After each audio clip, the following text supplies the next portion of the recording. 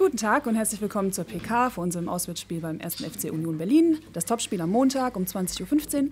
Dr. Jochen Drees äh, pfeift das Spiel und wir nehmen 1400 Klubber damit. Ich begrüße Michael Kölner an meiner Seite und gebe ab an euch für eure Fragen. Wer mag anfangen?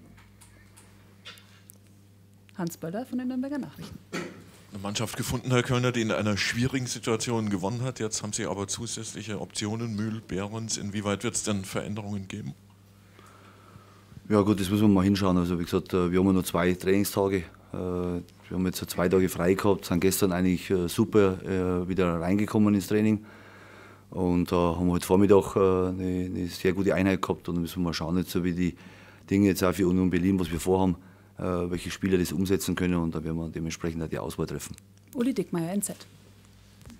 Sie hatten ja schon prophezeit, es werden andere Spiele in Berlin als gegen Bielefeld. Was war denn so der Schwerpunkt auf der Taktiktafel in der Woche?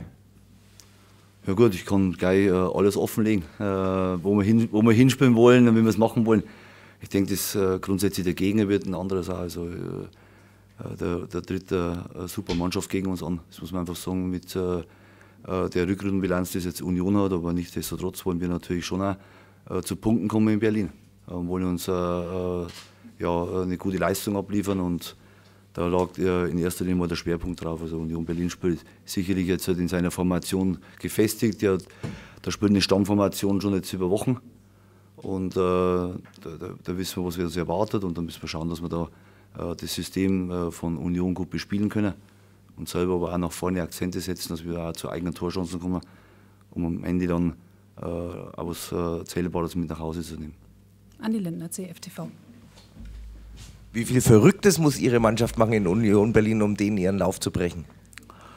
Ja, ich hoffe, äh, ich hoffe wenig Verrücktes, äh, viel Klares. Ich glaube, da musst du sehr klar sein im Spiel. Äh, das ist eine Mannschaft, wie gesagt, die spielt ein brutales Gegenpressing.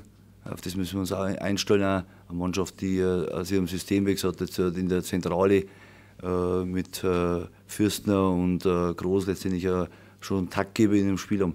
Und da geht es ja darauf, einfach das denen ihre Spielweise zu unterbinden und unsere eigenen Stärken zum Tragen zu bringen. Aber verrückt, glaube ich, also müssen wir da nichts machen.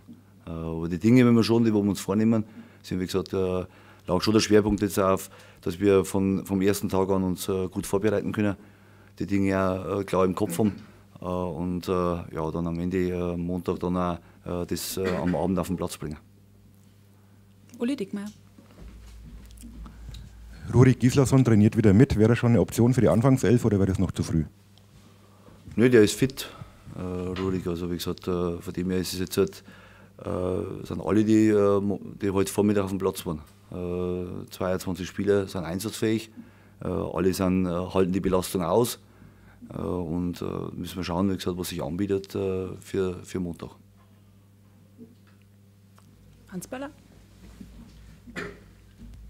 Tor steht Raphael Schäfer, ist das sicher oder ist Thorsten Kirschbaum so weit, dass er eventuell könnte? Nee, also Thorsten äh, fällt definitiv aus noch. Äh, wir wollen ja auch halt, äh, in den Sachen machen wir keine verrückten Dinge, äh, sondern äh, Thorsten soll fit werden, soll die Zeit dafür nehmen. Auch. Äh, jetzt ist dann anschließend Länderspielpause und ich denke, dass dann die Tage hoffentlich dann auch, äh, ihm gut heilen werden, dass es dann im Bauch alles wieder zur Ruhe kommt. Und ja, wir haben einen starken Vertreter der hier Jahrzehnte hier äh, das Tor geprägt hat. Von dem her haben wir äh, keinerlei Bammel äh, im, äh, in der alten Försterei äh, mit Raphael Schäfer aufzulaufen. Also das ist äh, für uns, ja, nehmen wir so an, wie es ist. Martin Funk, Bild Nürnberg. Die Fans hassen Montagsabendspiele, weil es auch natürlich eine blöde Anschlusszeit ist. Wie ist es mit dem Trainer? Größere Aufmerksamkeit, Live-Spiel, Fernsehen? Ja gut, also die Aufmerksamkeit interessiert mich jetzt mal nicht so in erster Linie. Sondern ich glaube, es ist für, für Mannschaft und Trainer es ist schon eine Herausforderung. Also unabhängig jetzt, halt, äh, weil es ist 20.15 Uhr, äh, du musst die Spannung jetzt am Abend äh, hinbringen. Du musst die Abläufe am Tag so gestalten, dass die Spieler nicht irgendwo in ihrem Hotel verzweifeln, sondern dass sie wirklich am Abend mit voller Lust um 20.15 Uhr auf dem Platz stehen. Äh, und die Kulisse drumherum ist natürlich schon top. Also wie gesagt, aber ich glaube, das wäre jetzt auch am Freitagabend an der alten Försterei auch nicht viel anders. Ich denke, äh, Flutlicht, äh, äh, Spiele jetzt mit, dem, äh, mit den Zuschauern im Rücken, die fair sind dem Gegner gegenüber, äh, das wird uns, das, das, äh, ja, da freuen wir uns drauf. Und wie gesagt, wir müssen halt alles dafür tun, dass wir am Montagabend 20.15 Uhr in der Top-Verfassung sind.